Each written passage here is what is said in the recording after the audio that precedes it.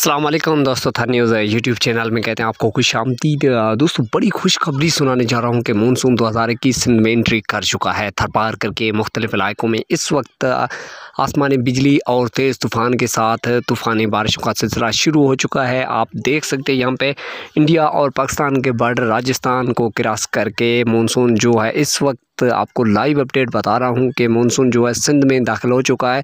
राजस्थान को क्रॉस करके, थरपार करके मुख्तलिफ़ गोठों में, मुख्तलिफ़ विलेज़ में इस वक्त आप तो लोगों को मैं लाइव मनाजिर दिखा रहा हूँ। बारिशों का सिलसिला जारी है।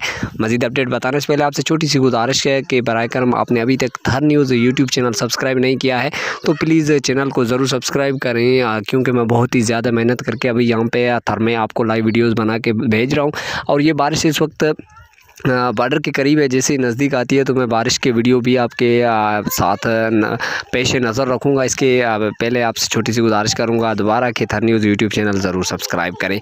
जी हाँ दोस्तों, तूफ़ानी बारिशों का सिलसिला इस वक्त जो है, ये बॉर्डर क्रॉस करके, राजस्थान को क्रॉस करके जो है, थरपार कर में दाखिल हो चुका है, सिंध के मुख्तलिफ़ इलाकों में। इस वक्त बारिशों का सिलसिला जारी है, जो कि ये बारिशें आपको बता दूँ, मानसून दो हज़ार इक्कीस है, जिसके इंतज़ार जो है, इस एक साल से हम जो इंतज़ार कर रहे थे, काफ़ी दिनों से इसको हाईलाइट्स किया हुआ है। काफ़ी दिनों के बाद हम इसको देख रहे थे कि ये मॉडल्स के हिसाब से कहाँ तक आ रहा है, कैसे आ रहा है। तो इस वक्त आपको बिल्कुल लाइव मनाजिर दिखा रहे हैं, जो कि इंडिया, पाकिस्तान के बार्डर राजस्थान को क्रॉस करके थरपार करके अंदर दाखिल हो चुका है, जो कि आस्ते आस्ते आगे सिंध की तरफ़ बढ़ रहा है। अब दोस्तों को बता दूँ, ये सिंध के मुख्तलिफ़ इलाकों में कल से कल तक, परसों तक पूरी सिंध को कवर कर लेगा।